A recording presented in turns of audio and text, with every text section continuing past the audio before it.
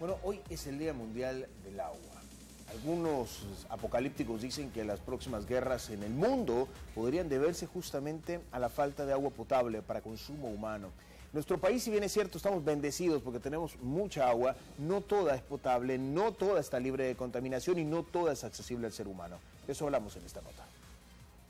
22 de marzo, Día Mundial del Agua. Una fecha para celebrar que se cuenta con este recurso, pero más que eso, preocupada se muestra la ministra de Medio Ambiente y Recursos Naturales, Lina Paul. Los ríos son cloacas, botaderos. Y es que ante la pregunta que hicimos a la funcionaria sobre si en el país hay agua de excelente calidad, así responde. La calidad de los ríos en el país es terrible. Solamente un 5% es de calidad de agua buena, ninguno muy buena.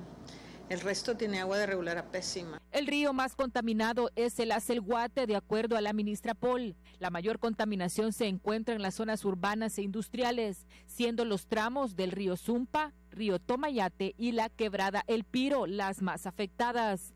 Por cierto, hoy Medio Ambiente presentará el Atlas de la Quebrada El Piro para buscar acciones que se ejecutarán en el Plan Nacional de Restauración de Ríos Urbanos. Entonces vamos a irnos a un pedazo de la quebrada, queremos que vean cómo es el río, queremos que vean la cantidad de basura que hay ahí, basura que hemos tirado todos nosotros.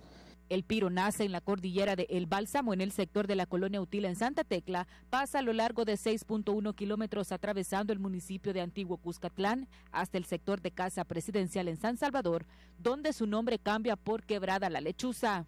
Pero también hablar del Día Mundial del Agua es hablar del acceso que se tiene a este recurso, dice la diputada Marta Evelyn Batres. Hemos visto últimamente las denuncias que ha hecho la ciudadanía por la falta de agua también en ciertas comunidades y lo que a nosotros nos causa extrañeza realmente es que se ha hablado mucho de una inversión inexistente, que la podemos ver que no que no es no es una realidad para las comunidades porque sigue habiendo un desabastecimiento del agua. Alrededor de 600 mil salvadoreños no tienen ningún tipo de acceso al agua, ni siquiera cuando llueve, reveló un estudio de la Organización de Naciones Unidas en 2016. En 2012, Medio Ambiente presentó un anteproyecto de Ley General de Agua que aún está en estudio en la Asamblea Legislativa. Linda Rivera, TCS Noticias.